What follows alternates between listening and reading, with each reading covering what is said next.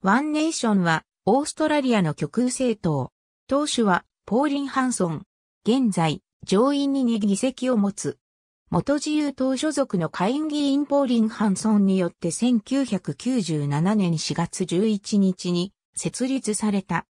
1998年6月のクイーンズランド州議会選挙では約22%の票を得て11議席を獲得し、州議会第3党に躍り出た。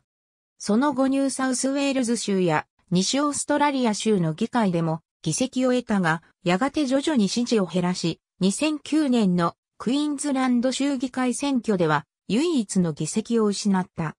2016年7月2日に行われた連邦議会選挙では、上院クイーンズランド州選挙区で9%の票を得て4議席を獲得し、国政に復帰した。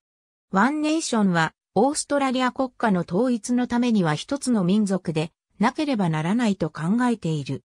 アボリジニが白人より優遇されていることを逆差別だと指摘、すべての住民に英語教育を義務付けるべきだと主張したほか、アジアからの移民の制限をすべきだと訴えている。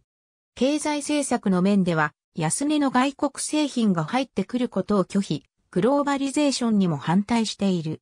近年では反イスラームの立場を鮮明化しており、ムスリム移民の排斥を訴えている。ありがとうございます。